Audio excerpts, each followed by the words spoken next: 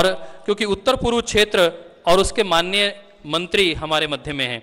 और मैं अब उन्हें आमंत्रित करता हूँ, विदेश राज्य मंत्री, भारत की सेना के पूर्व सेना प्रमुख और भारत स्वाभिमान के एक दृढ़ संकल्पी, निष्ठावान सिपाही अधिकारी के रूप में बहुत ज़िम्मेदारी के साथ उन्होंने पूज्य स्वामी जी महाराज के संकल्पों को स्वर दिया है।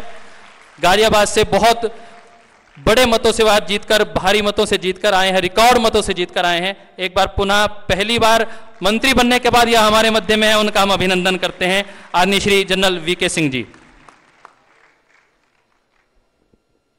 मंचासीन परम पूज्य स्वामी जी, साध्वी रिथम्बरा जी, स्वामी विजय कौशल जी महन चांदनाथ जी, हमारे संसद के और मंत्रिमंडल के अन्य सदस्य जो आज यहाँ पर आचार्य जी का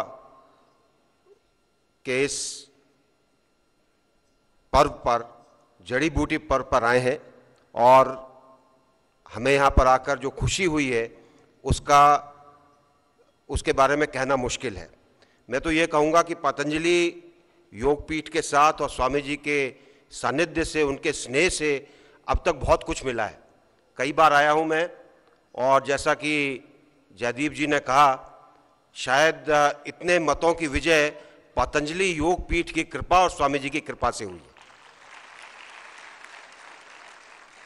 मैंने आचार्य जी को कहा था कि आप स्वयं दीर्घायु रहें और हम सबको और पूरे संसार को दीर्घायु रखें, यही एक कामना है उनसे। और मुझे आशा है कि उनकी, उनका ज्ञान, उनका कर्म हम सबको उस मार्ग पर प्रशंसित करता रहेगा, जिस पर हम पूरे देश को एक उज्जवल भविष्य की ओर ले जा सकें। एक बार फिर मैं उनका अभिवादन करता हूँ और अपनी ओर से आप सबको धन्यवाद देता हूँ। बहुत बहुत धन्यवाद। जय हिंद, जय भारत।